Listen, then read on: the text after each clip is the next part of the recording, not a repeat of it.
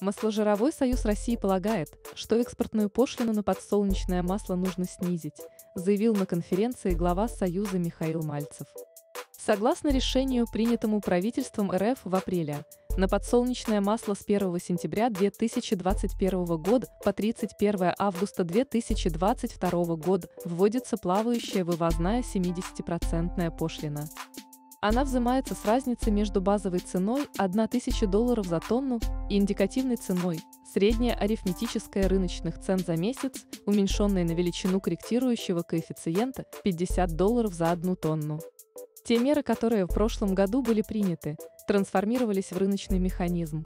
Намного более эффективный, чем рыночное регулирование, но пока недостаточно эффективный.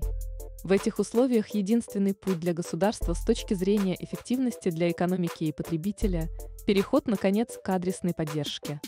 Мы считаем, что если бы не отмена этой пошлины и переход на адресную поддержку, то хотя бы ее перевернуть с 70% на 30%, сказал он.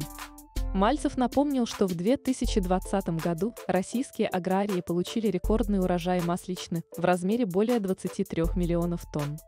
При этом у нас начало сезона ознаменовалось тем, что все растениеводы просто сели на сырье и не продают его. У нас рекордный урожай и загрузка мощностей 90%, несмотря на то, что мы прирастали последние два года мощностями, сказал он. В результате, по мнению Мальцева, отечественный АПК может столкнуться с перегрузом перерабатывающих мощностей и войти в следующий сезон с остатками продукции. Такого не было на моей памяти никогда. Что это?